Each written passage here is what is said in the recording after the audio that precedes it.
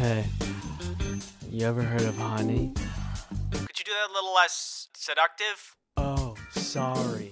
I didn't mean to. Just read it normally. Have you ever been shopping online and thought to yourself, I wish I had a free online shopping tool that automatically finds the best promo codes and applies them to my cart? Well, uh, Honey is a free online shopping tool that automatically finds the best promo codes and applies them to your cart. Get the best deals on over 30,000 well-known stores such as Best Buy, Sephora, Ulta, cocaine from the guy behind this recording studio. That one's a lie. Don't say that. Honey is free and easy to install with just two clicks. One over here, another over here. That's easier than doing a backflip. Don't try to do a backflip. You're gonna get hurt. No, I can do it. Honey is loved by everyone with over 100,000 five-star ratings on the Google Chrome store. Honey, good. Need a chair? I know I do. With Honey, it's easy to pick one up with great savings. Oh my god. That's really good. How much does Honey cost? You just said it was free. Not having Honey is literally passing up free money. Follow this link to start saving now. Joinhoney.com slash ice cream sandwich. Say it normally, we don't pay you. That's joinhoney.com slash ice cream sandwich. Thank you, Honey, for sponsoring this video.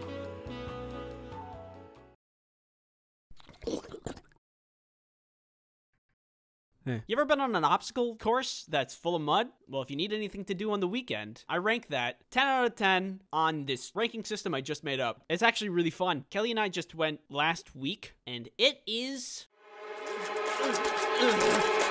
fun. Rewind six months ago. Kelly and I are talking. She's like, let's do a mud run. And I said, yeah, even though this isn't something I would normally want to do, because I don't like messy things. Like Nickelodeon slime. Yeah! Woo!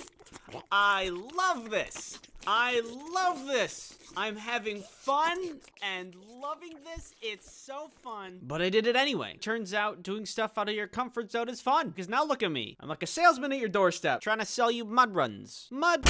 If you've never been in a mud run, this is what it's like. Apparently, there's two kinds of mud runs. One that's competitive and people actually try to win, and the one that I went to, which is for casuals. You just go at your own pace. You could just walk.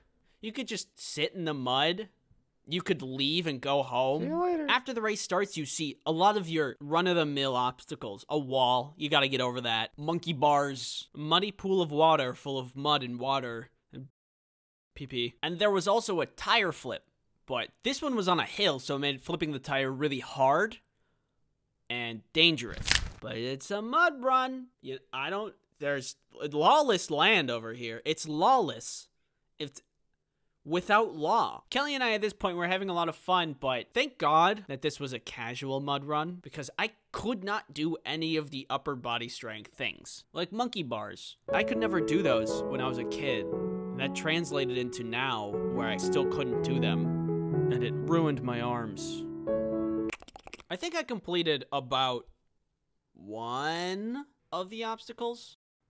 Moving on. The rest of the race was mostly long paths of running with just a couple of wooden beams sprinkled around that you had to get over. Woo! Some of the running left the main muddy area and went into the woods, which I was a little worried about because there was lots of rocks and roots and it was really steep. I don't know. I've heard of stories where people just trip and they hit their head weird and then they stop living. I didn't want to fall and hit my head weird and then become part of the obstacle course. But hey, that's again, it's the name of the game ba- baby, danger, obstacles, racing, mud.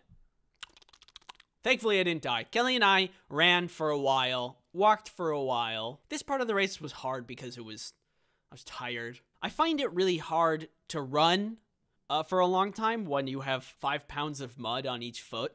Oh, to be young and full of energy. Also old and full of energy. The last part of the race was really, really steep and really, really muddy. They made it the muddiest part of the race. I mean, just standing in place, you would slide. At the bottom of the steep hill was another large pool of water that you had to swim through. After all the mud that you just ran through, you'd be really messy. So this one was so you could clean off wash off all the gunk. Then there was a really tall thing that I'm surprised nobody fell from and sued the place. And then there was the finish line. And everybody got a medal and a t-shirt. And it was really fun. I was surprised that I had a good time because I again, I'm not a guy that likes messy stuff, but I had a good time. And I recommend it to anybody who's like bored, not motivated, just watching like stupid garbage on YouTube. Go to a mud run. Yeah, try it out. You might like it. And Kelly and I treated ourselves to a race well completed with McDonald's. We did it. That's a winner's meal.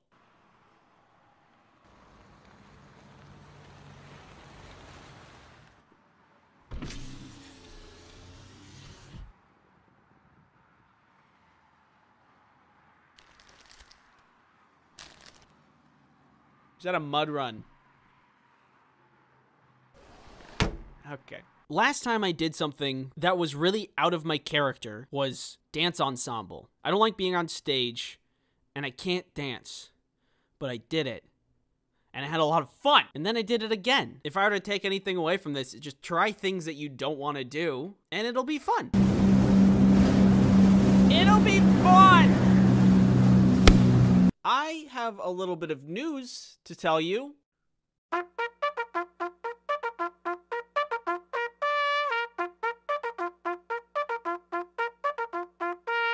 If you're thankful for a million people subscribing to your channel and you know it, clap your hands. Million subscribers. Isn't that something? I don't have to tell you that a million is a big number. I don't have to tell you that this channel is larger than 93 countries on Earth. I don't have to tell you that this channel is 43,000 people larger than Djibouti. And I don't have to tell you that if we went to war with Djibouti, we would have a strategic advantage. So I won't. But I will tell you that I'm thankful. All of this is happening at a pretty busy time in my life, so really came out of nowhere. Uh, you've been patient with me and helped me achieve something I actually never thought would happen in my life. I'm lucky to have you. And um, if there's one thing I want to say to you guys, it's this. Thanks.